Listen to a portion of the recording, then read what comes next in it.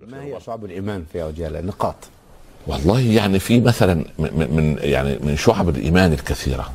فهم لا إله إلا الله. سيدنا. نحن نحن ما فهمنا. ما فهمنا. لا لا لا لا. فهمها أبو جهل وفهمها أبو لهب. أبو جهل فهمها طبعا. لم يؤمن؟ بلى. ما هو لم يؤمن لأنه فاهم أن لها مقتضيات مش مجرد أن يقول. آه. لا فاهم أن لها تبعات. ما يستطيع فعلا. لا لا لا لا. قالوا يا ابا يا أبا الحكم. لما؟ انظر بس إلى ال- تركت محمدا يخرج فيلحق بصاحبه ويصل كلاهما إلى ال- إلى يثرب. لما لم تكسر عليه بابه وتاخذه من فراشه ماذا قال؟ قال وتقول العرب هتك عمرو بن هشام حرمة بيت محمد؟ بالله عليك. وهو عدو له. وهو عدو له وهو ضده ويريد قتله و و و وينكر فكرته وينكر دينه وينكر شريعته لكن في سقف للمفاهيم. الان تكسر الأبواب و- وتهدم البيوت على رؤوس من فيها؟ وتوضع تحت تحت التجسس وت- صحيح. أي- أي- أي- ماذا نقول لله يوم القيامة؟ سبحان الله. ماذا نقول؟ يعني بالله عليك أضرب لك مثال بسيط خالص. هل خطر بباء أو قرانا في التاريخ أن أبا جهل قال لأم جميل حملت الحاضر زوجة أبي لهب وقال دعني أراقص زوجتك هذه الرقصة؟ لا. والله كان أبو لهب د- كان دمره. سبحان الله. فاشتغل عليه بالإرهاب. يعني هذا هذا هذا هو العربي قبل الإسلام. هذا بروتوكول فضيلة لا، الشيخ يعني. شوف يا ابني، جاء الإسلام ليتمم مكارم الأخلاق. يعني العرب كان عنده مكارم. كان عنده مكارم. أبو سفيان لما دخل على هرقل وقعد يساله عن محمد كيف وكيف وكيف. وبعدين أبو سفيان يقول إيه؟ كان لسه ما ما ما, ما دخل الإسلام. والله لولا أن يؤثر عني أني كذبت لكذبت. يا الله أكبر. شوف خوف أبي سفيان الذي كان ما زال على كفره يخاف أن يكذب وهو عدو لرسول الله. يكذب على عدوه. يكذب يخاف. على لكن لا خاف. ان يؤثر أنني كذبت. يعني الكذب أمير المؤمنين في الحديث نعم. كان يمر على المقابر وراها الجمعة كل جمعة. يقول السلام عليكم يا أهل القبور. أنتم السابقون. وإنا إن شاء الله بكم لاحقون. نسأل الله لنا ولكم العافية. آنس الله وحشتكم. وكان معكم في غربتكم. وتقبل من محسنكم. وتجاوز عن مسيئكم. كل جمعة. فجه شهر مرض. فقال فما ذهبت؟ فرأيتهم في الرؤيا يجرون أكفانهم. يقولون يا شيخ لما لم تزورنا كنا نستأنس بزيارتك. يا الله. الله. الأغرب من الخيال ثابت بن قيس الصحابي الجليل نعم. ثابت بن قيس في اليمامة. ليه المسلمين بدأوا في أول المعركة بدأوا يهربوا. فجه هو وحذيفة بن اليمان قالوا ما كنا هكذا مع رسول الله. عليه الصلاة والسلام. فحفر كلاهما خندقا. ووقف فيه يقاتل كي لا يحدث نفسه لا بالهرب إلا لأن جيش مسيلمه هجم على المسلمين في أول مرة حتى أقسم خالد لأن دخل عليهم الحديقة لا لا لا لا لا يعني لا لا يعني يفعل فيهم الأفاعيل. رزق كلاهما الشهادة. ضد مسيلمه الكذاب. فهو واقف كان عليه درع. فواحد من الناس يمر من المسلمين نعم. أو من الجدد من المسلمين خلع درع ثابت وغ- وغله أخذه. وجري. هرب. لما؟ سرق آه، درع درع ثابت. سرق وهو في المنى وهو شهيد رقبته وسبحان الله فسرق. فراجل من رجل من الصحابة من شدة بعد ما انتهت ال- ال- ال- الجولة الأولى أخذته سنة من النوم فرأى ثابت في الرؤيا فورا. قال له يا فلان لا تظن أن هذا حلم. ده مش حلم اللي تشوفه. أنا أكلمك. إن درعي سرقه رجل وجرى وهو في أقصى المعسكر. أقصى مكان. وصف له مكانه. أقصى مكان. وقد وضع الدرع في في حفرة عند خيمته وعليها برمه برمه اللي القدر. نعم. يقول عندنا في الصعيد على القدر برمة. كلمة عربية في عند نعم. ابن منظور يعني. صحيح. فوضع عليها برمة. وضع عليها حجر كبير. فخبر خالدا. وإذا أخذه خالد فليعد به إلى خليفة رسول الله صلى الله عليه وسلم أبو بكر ليبيعه. وإن علي دين لفلان ولفلان. وإن خادمي فلان حر لوجه الله. الرجل استيقظ من الرؤيا بلغ خالد. خالد مشى آخر المعسكر. رفع الحجر رفع البرمة رفع وجد الدرع. رجع للمدينة سلم الدرع أبو بكر قال والله لننفذن وصية ثابت وهذه أول وآخر وصية في التاريخ تنفذ وصية متوفى. لا إله إلا الله لا حول ولا قوة إلا أنا بالله. أخ... أنا أخبرك ليه بهذه القصة؟ نعم. لأن الميت معنا المتوفى معنا. يشعر بنا. ها؟ رأى الرجل وعرف الرجل وعرف أين خبأه. اسمع هذه. سعيد بن زيد أحد العشره المبشرين بالجنة. صحيح. زوج فاطمة بنت الخطاب. نعم. اللي كان سبب في إسلام عمر. صحيح. تخيل أن عمر كل حسناته في ميزان سعيد. سبحان الله. أخذ بيدي إلى الإسلام. الدل على الخير كفاعل مش المصريين كلهم؟ كل عملهم في ميزان حسنات عمرو. عمرو بن العاص. شوف لا إله إلا الله. ف سعيد بن زيد كان في المعركة. وأخوه في الله يتابع أنه لم ينم منذ أيام. فأقسم عليه بالله أن يدخل لينام دخل سعيد نام في ال- في ال- في الخيمة. أخوه يحرسه. خشيه أن يطوق المعسكر وسعيد أحد قوات الجيش. يعني. نعم. فسمع آه، أخوه هذا سمع سعيدا يقول بصوت مرتفع والله لا أريد أن أعود والله لا أريد أن أعود. يا عيناء يا مرضية. فأخوه يبدو أن سعيد من قلة النوم بدأ يقول أي كلام وموت من التعب يعني. والله لا أريد أن أعود يا عيناء يا مرضية. يا عيناء يا مرضية. نعم. ما معنى يعني فايقظه سعيد سعيد. قال له جزاك الله عني. قال قل خيرا. قال ومن أين يأتي الخير؟ قال لما؟ قال خيرا. لا قال لا بد أن تخبرني. قال رأيت رؤيا. قال أخبرني. قال أستحلفك بالله. الا تخبر عني إلا بعد أن أموت. قال له خلاص. قال لما نمت كأن القيامة قد قامت وكأن مناد من السماء ينادي قد رضي الله عن سعيد بن زيد. الله أكبر ما ما شاء هو الله. الر- الرسول رضي عنه مات رضى عنه عن العشرة من العشرة وسعيد بن زيد شوف شوف شوف الرسول عبر عنه قال حبيب من أحباء الرحمن. يا فلما سعيد لما نودي عليه قال سعيد رضي الله عنه ف ف ف فإذا ب ب ب ب بملكان معهم ثلاثة خيول مطهمة. هم راكبين ده واحد وده واحد والثالث قال اركب. إلى أين؟ لسعيد. لسعيد. اركب. قال إلى مكانك في الجنة. فعلى باب الجنة نزلت. فقابلتني يعني نسوة أشد جمالا من البدر ليلة التمام. قلت هل هؤلاء هن الحور العين التي كلمنا رب العباد عنهن في القرآن؟ أجبنني وقلنا لا نحن خدم من خدمهن. يا سلام. كل ما يمشي يشوف أجمل يشوف سلام. أجمل إلى أن وجدت ثلاثة بينهن واحدة كالشمس مرحبا بك يا سعيد. أنا زوجتك من الحور العين. أنا العيناء المرضية فمددت يدي أصافحها. قالت إليك عني يا سعيد أنت ما زلت في الدنيا ولكن سوف تحل عندنا بعد ثلاث. سلام. قلت قلت والله لا أريد أن أعود والله لا أريد أن أعود. مرحبا بك يا عيناء يا مرضية وأنت توقظني. يا الله. راقب أخوه سعيد راقب بتاعه كان يوم خميس في المعركة وصائم. وبعدين الشمس أوشكت أن تسقط خلف الجبل وإذا بطعنة تأتي لسعيد فوقع على الأرض. جري عليه أخوه أين الإفطار يا سعيد؟ قال في مقعد صدق عند مليك مقتدر أهلا بك يا عيناء يا مرضية. الله. حنظلة غسيل الملائكة. نعم. ما هو الكلام؟ ما لازم نشرح صدور الناس بهذا. القصص. دول أسلافنا الصالحون. نعم. دول عشان وهذا في القبر يسأل هذا هذا شهيد. هذا ما شاء الله لا هذا لا قوة إلا بالله. مش فيه صاروخ عبر القارات. نعم. وفيه ناس سبحان الله يدخلون الجنة من غير بدون حساب. هذا منهم.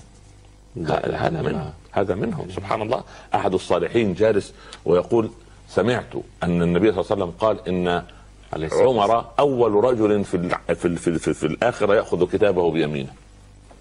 فالجالسون تحر... تحر... قالوا عجبا. وأبو بكر. قالوا عجبا. وأبو بكر. قال عجبا لكم أنتم. أتريدون أن يقف أبو بكر للحساب يا سلام. يدخل بدون حساب. فانظلة. حنظله غسيل الملائكة. هو أعرس ونادى منادي الجهاد نسي أن يغتسل واستشهد في المعركة والصحابة يجيبوه عشان الرسول يصلي عليه.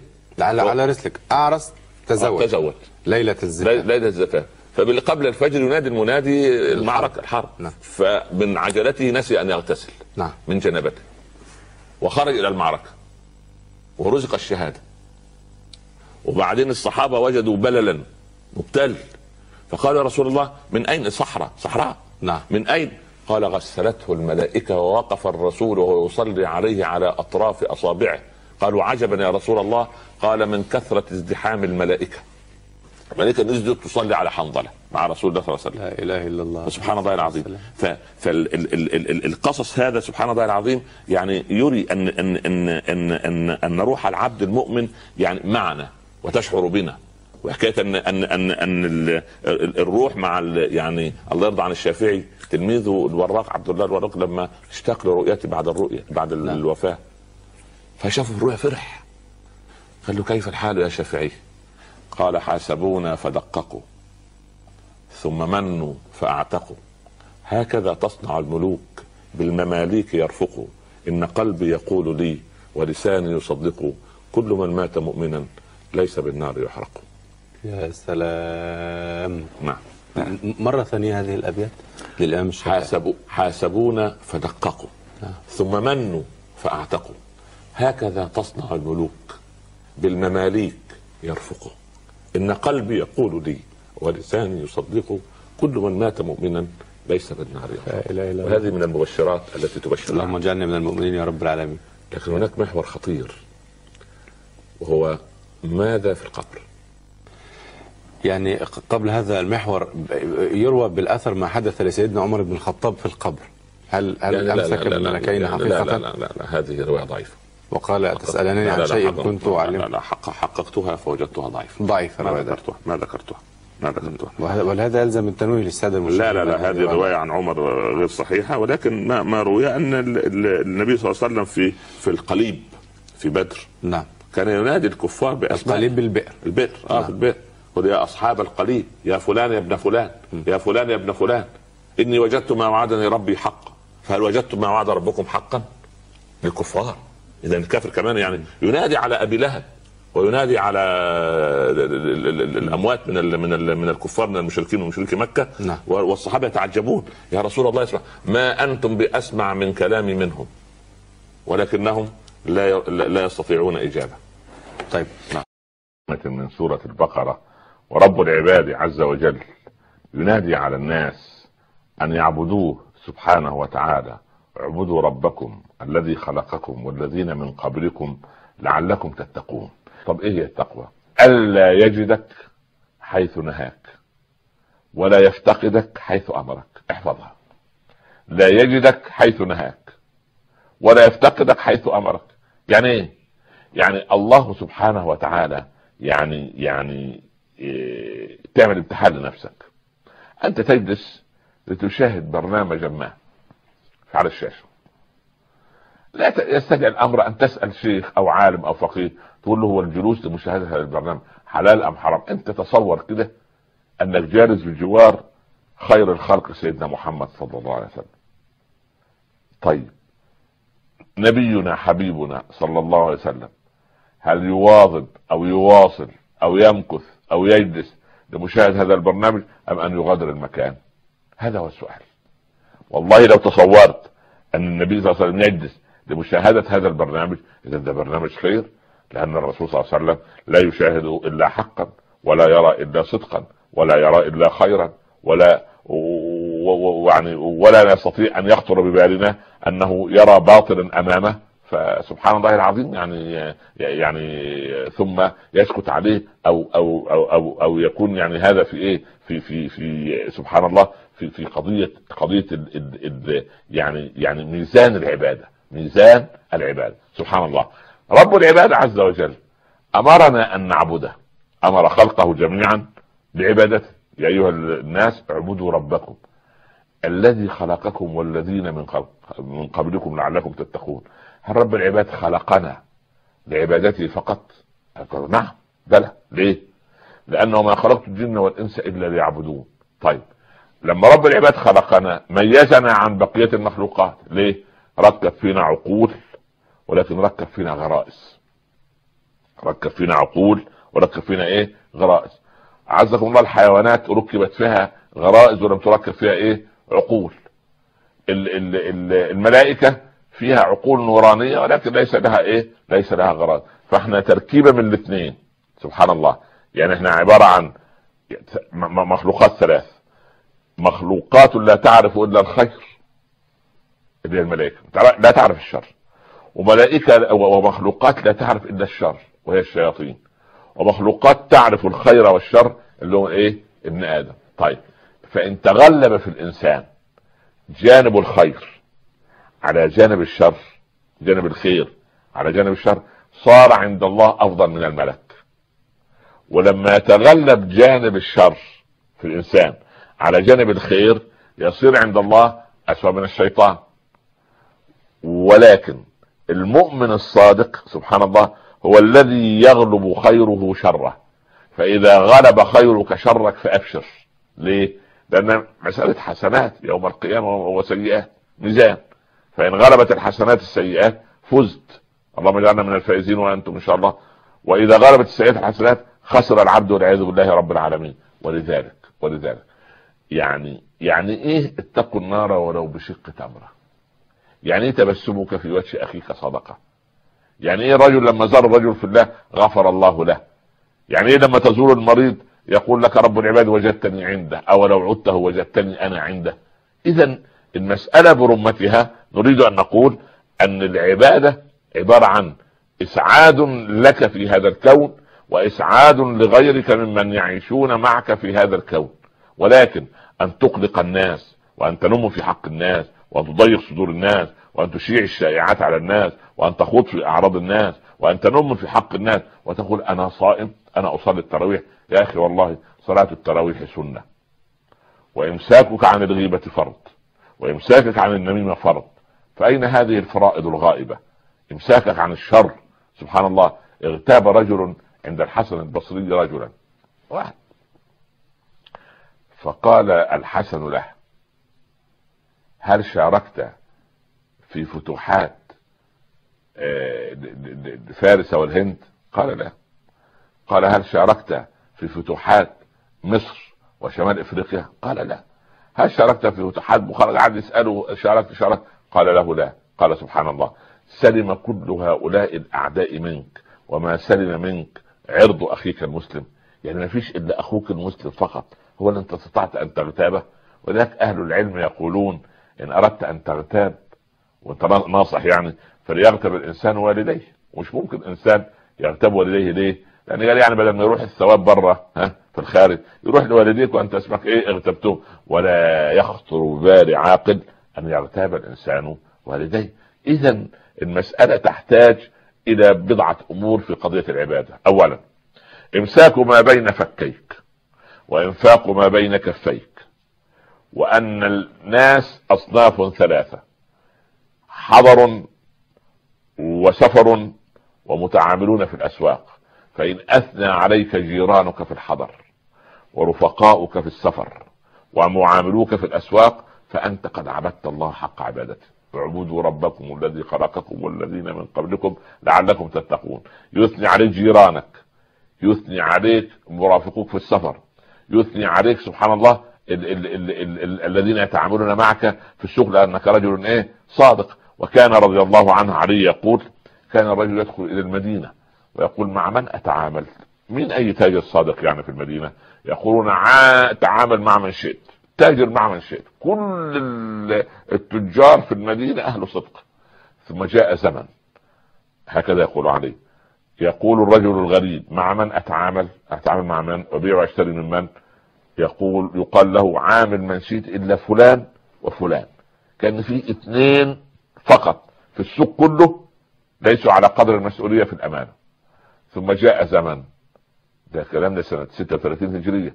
يقول الرجل الغريب مع من أتعامل؟ يقال له لا تعامل إلا فلان أو فلان. يا الله. يبقى إحنا وصلنا إلى حالة إن في اثنين صادقين في السوق. طب متى نعود مرة أخرى حتى يكون التاجر أمينا ويكون الطبيب أمينا ويكون المهندس مخلصا ويكون المعلم متحملا ويكون الموظف مثابرا في عمله؟ لكن تذهب له الساعة الحادي عشر صباحا في صباح رمضان يقول لك والله أنا صائم تعال لي بعد رمضان أنا في حالة نوم أنا واخد الليل كله سهر. لا نحن لا نريد أن تسهر حتى وإن كانت التراويح هي التي تجعلك تسهر لا. صل الفريضة وناموا ضمن الفريضه الأخرى حتى تصلح أمور الناس وحتى يعني سبحان الله العظيم يعني يعني يعني تكرم المال الذي ترتزق به تكرمه بأن يكون إيه؟ حلالا. ليست دعوة مني أن لا نصلي التراويح ابدا. التراويح سنة مؤكدة شيء طيب أن نصليها ونحافظ عليها ونملأ المساجد. ولكن ثمرة هذا. ثمرة هذا. هل أحببت من بجواري؟ هل أحبني من يصلي بجواري؟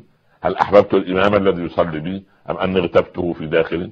هل حنى الإمام على المريدين؟ هل تحمل وتقبل من محسنهم وتجاوز عن مسيئهم؟ هل سبحان الله حلم عليهم؟ هل حلم الناس بعضهم على بعض وهم يخرجون من المسجد يريد كل واحد منهم أن ينفض سريعا إلى أي مكان يريد أن يذهب؟ لا تسأل. سبحان الله. اذا مسألة العبادة ليست رقيعات وليست طقوس صيام وإنما هذه فرائض طبعا. أن نصلي أن نصوم أن نزكي أن نحج. هذه فرائض يجب أن تعمل. لكن ما ثمرتها؟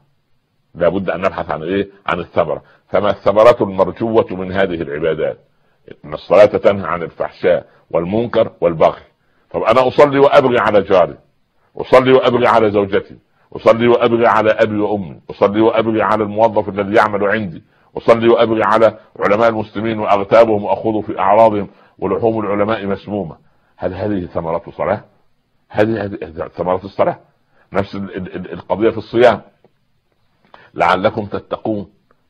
هل وصلت إلى درجة من التقوى حتى رب العباد عز وجل يتقبل مني هذا الصيام. يعني من لم يدع قول الزور والعمل به فليس لله حاجة في أن يدع طعامه وشرابه. اذا القضية بهذا المنطق يجب أن نتفهم قضية اعبدوا ربكم. فعبادة الله سبحانه وتعالى يجب أن تكون واضحة بهذا المنطق. هل هل جربنا مرة أننا نتوقف في هذه الأيام المباركة ونعيد حساباتنا ونقول أنا أريد أن أعبد الله حق العبادة. أعبده في حسن تعاملي مع زوجتي. وتقول الزوجة في حسن تعاملي مع زوجي. في حسن تعاملها مع أهل زوجها. في حسن تعامله هو مع أهل زوجته. في حسن تعاملنا مع أولادنا مع جيراننا مع زملائنا مع مجتمعاتنا مع حركة الحياة التي يجب أن نعمرها بطاعته عز وجل. ولذلك ولذلك رب العباد عز وجل من كرمه وفضله أنه بين لنا ووضح يا أيها الناس اعبدوا ربكم الذي خلقكم والذين من قبلكم لعلكم تتقون. فهل لا تدبرنا في هذه الآية الكريمة؟ وهل لا توقفنا عن حقيقة على حقيقة العبادة؟ وأحيينا فرائض غائبة قد نسيناها ألا وهي فريضة إدخال السرور على المسلمين وليس إدخال النكد على المسلمين. لأن من أدخل حزنا على المسلمين أدخل الله الحزن في قلبه ومن فرح المسلمين بحسن الخلق وبحسن التربية لأولاده وبحسن التعامل مع الصغير والكبير وقر كبيرنا وعطف على صغيرنا وأعطى لعالمنا حقه. اذا من الذين وضعوا أقدامهم على بدايه الطريق اعبدوا ربكم. هذه هي القضية. فلنعبد رب العباد سبحانه وتعالى حق العبادة عندئذ نقيم ديننا. كما ينبغي ونعود إلى ديننا ونرد إليه ردا حسنا جميلا. أحبتي في الله سعدت بكم في هذه الحلقة ولا تنسوني من صالح دعائكم ونلقاكم إن شاء الله في الحلقة القادمة في نفس الموعد بإذن الله رب العالمين. لا تنسونا من صالح الدعاء ونستدعكم الله الذي لا تضيع ودائعه. والسلام عليكم ورحمة الله تعالى وبركاته. إذا القلب صار أسير الهوى وبالمغريات. أبو أيوب هذا له جار عربيد سكير خمر لا يصلي. يعني كل أنواع ال- سبحان الله. مات الرجل. فقيل يا أبا أيوب تعال صل عليه. أبو أيوب يعني في نفسه قال يعني أروح أصلي على الرجل وأنا اغتابه في نفسي. ده الغيبة يعني حرام. للحي. فما, فما بل للم- للمتوفى. قال صلوا عليه أنتم. صلوا على المتوفى ودفنوه. أبو أيوب بالليل ينام يرى جاره هذا يرتع في الجنة. قال يا اضغاث أحلام. سبحان الله. اللي- إيه اللي ودى ده الجنة يعني؟ ها؟ سبحان الله. يعني هم يقسمون رحمة ربك؟ سبحان الله.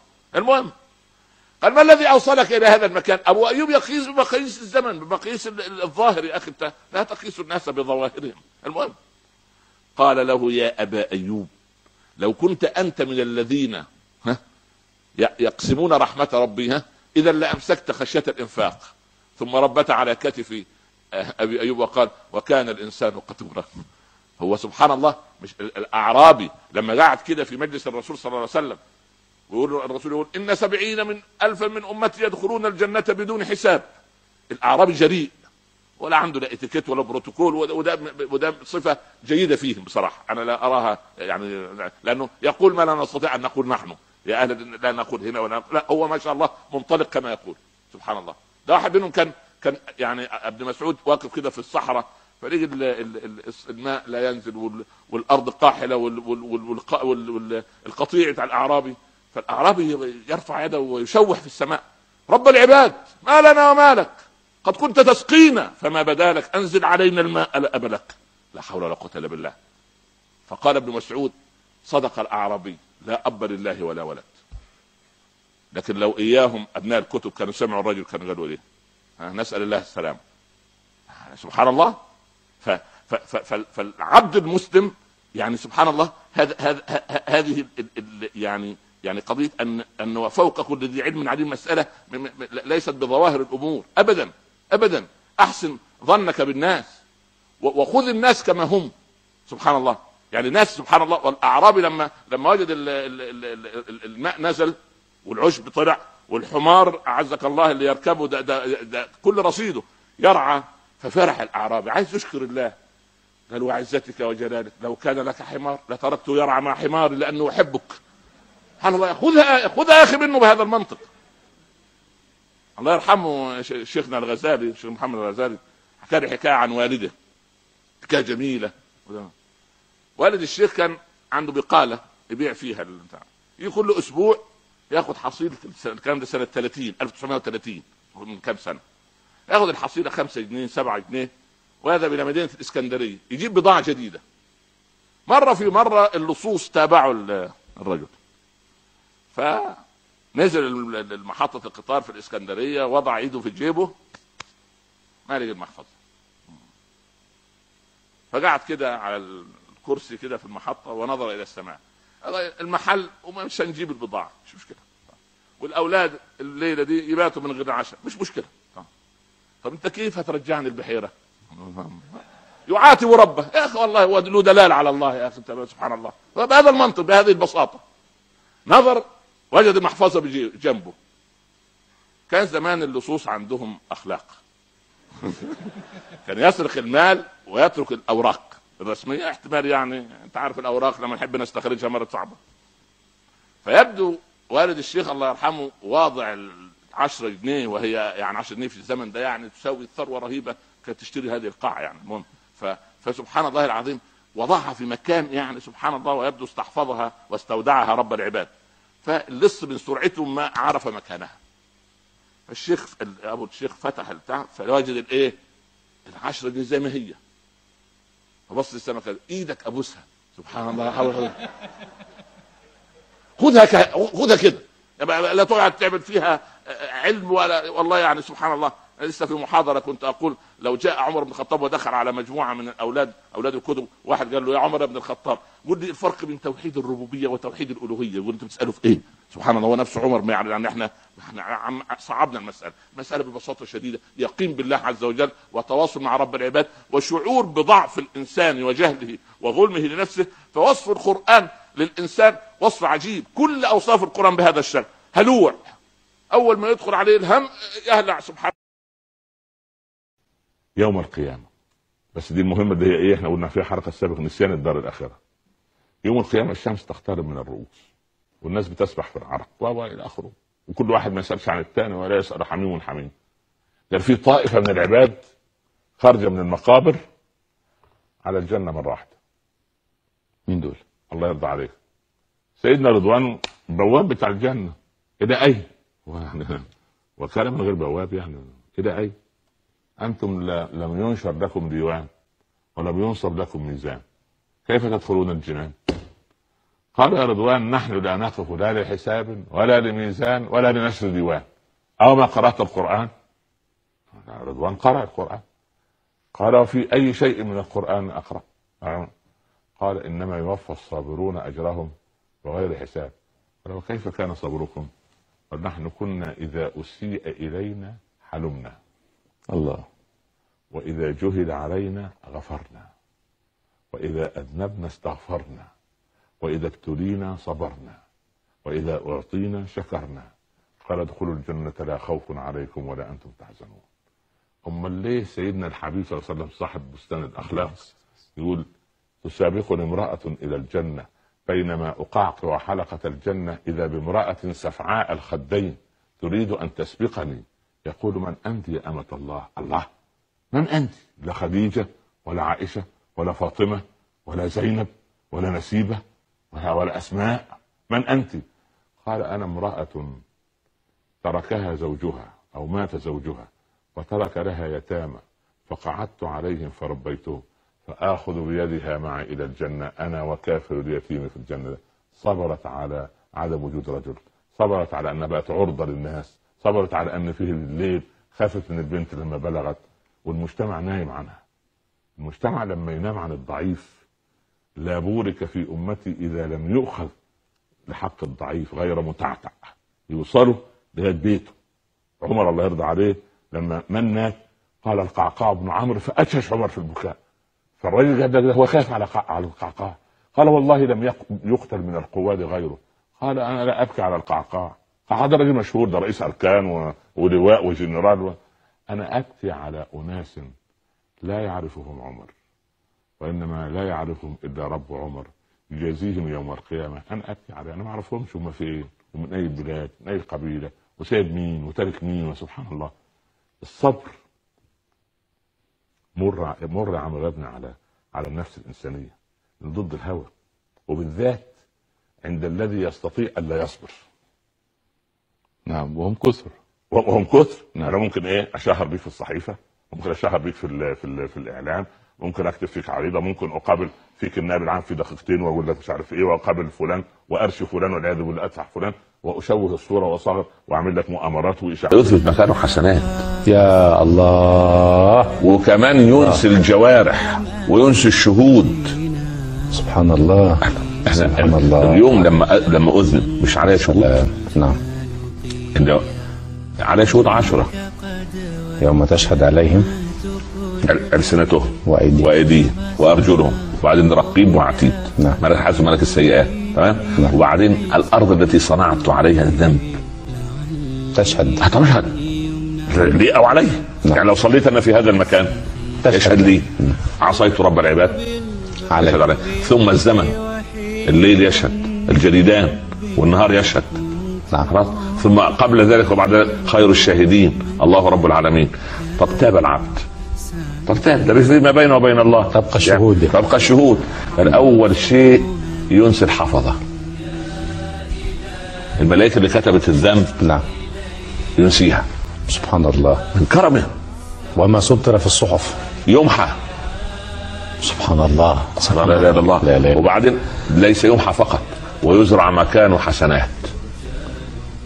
يا الله. فأولئك الذين يبدل الله سيئاتهم حسنات. يا الله. سبحان الله. وبعدين بعد ما ينسي الشهود وينسي الحفظة ويضع حسنات يظل العبد بعض الذنوب. الذي يشدد عليه سكرات الموت. فيخرج من ذنوبه كيوم ولدته أمه. الله. لأنه عايز يخرجه سليم. الله أكبر. كما نزل من بطن أمه صافيا نقيا يخرج من الدنيا صافيا. نقيا إذا أحب ما, خلق ما هو لأن لأن العبد أحبه. يحبهم ويحبونه. قال ابن مسعود ليس. العجب. ليس العجب في يحبونه ولكن الأعجب في يحبهم. ليس العجب في في يحبونه. آه، ما أنا أحب الغني آه. أحب الغني آه. أحب القوي آه. أنا ضعيف. نعم. أحب القوي. أنا فقير. أحب الغني.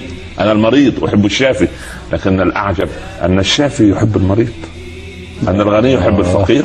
جميل. آه. يعني العجب ان أن سبحان الله أنه يعني ليس العجب من فقير يتودد ولكن الأعجب من غني يتحبب. صحيح سبحان الله هو- هو- ولكن يتحبب.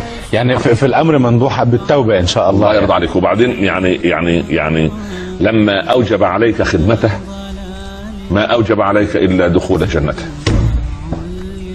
نشرحها. أوجب علينا خدمته. يعني في الظاهر أنها خدمته. يعني نصلي نصوم نقول الحق. لا نغتاب الناس لا نخوض في الأعراض نحافظ على الكيان لا لا لا لا, لا, لا نؤذي الناس لا نظلم الناس لا نقتل الناس معنويا ولا ماديا. كل الأمور دي أوجبها علينا. وما أوجب علينا إلا دخول جنته. هو يريد بهذا كله إيه؟ يريد أن يفتح لنا باب الجنة. صحيح. آه سبحان الله. حتى حتى في الابتلاء قد يبتليهم بالايه؟ بالمصائب حتى يطهرهم من المعايب نعم. آه. كريم كريم هو الحمد كريم لله. الكبر والحسد فأول ما بدأ الرسول الحديث هذا كنز هذا من كنوز السنة قال لا تحاسدوا ليه؟ لأن الحسود كارثته أننا نقول عنه أنه يرفض قسمة الله يقول ليه ده غني وأنا فقير؟ ليه هو صحيح البدن وأنا مريض؟ يا خبر هم يقسمون رحمة ربك والحسود لا يسود الحسود ده إنسان سبحان الله ده مرض طبعا ومرض خطير. وأنت عندما تجد حسنا استعذ بالله عز وجل كبر في وجهه. خذ من العائن الذي يعين الناس شيء من أثره واغتسل به لأن ده والعياذ يحيل حياتك إلى إيه؟ فجأة كده تلاقي مشكلة بينك وبين زوجتك بينك وبين عيالك. العيال في البيت عاملين زي حريق شب في البيت زلزال حصل. إيه الموضوع؟ لأن فلان زارهم أو فلانة زارتهم معروفون بالإيه؟ ومعرفين بالحسد. يا ستار يا رب. قل أعوذ برب الفلق من شر ما خلق ومن شر غاسق إذا وقب ومن شر النفاثات في العقد ومن شر حاسد إذا حسد. سبحان الله. فلا تحسدوا. الحسد مصيبة. يعني الحاسد كالنار تأكل نفسها إن لم تجد ما تأكله. سبحان الله. والحاسد ده يعني يزداد سوءا وحالة نفسية سيئة. كل ما ازددت أنت خيرا. كل ما ربنا أكرمك كل ما هو يعني يأكل في روحه زي الإيه؟ زي النار. ما يوجدش حد تتشبث به وتحرقه تحرق في نفسها. تفضل النار تأكل في نفسها. هكذا الحسود. والحسود دائما مبغوض عند الله عز وجل مبغوض عند الناس. الناس تخاف منه. تقول يا فلان ده فلان ده عينه. يعني حتى في بعض البلاد العربية يقول لك عينه حارة. ده, مش عينه حارة ده عينه ما يعلم بها غير ربنا. نسأل الله سبحانه وتعالى أن يعيذكم وإيانا من شر حاسد إذا حسد. يحسدك سبحان الله حتى الرجل ال- ال- الفقير. وقال أنا عايز أترك البيت ده وأروح في مكان تاني. قالوا يا سلام. ليه؟ قال الناس يحسدوني. فالتفتوا كده ما فيش إلا غرفة. يحسدوك على إيه؟ ده حتة حصير وحتة قربة ماء في إيه؟ قال طب استنوا بس انتظروا. ورفع عقيرته. قال إن أمير المؤمنين حفظه الله أرسل إلي ليقتلني مع فلان وفلان وفلان. ففلان وفلان اختار ثلاثة من عليه القوم. فالجيران سمعوا صوته. قالوا يا لقع اتق الله. هل تقتل مع هؤلاء الأشراف؟ قال انظروا حتى على الموت لا أخلو من الحسد. يا ستار يا رب.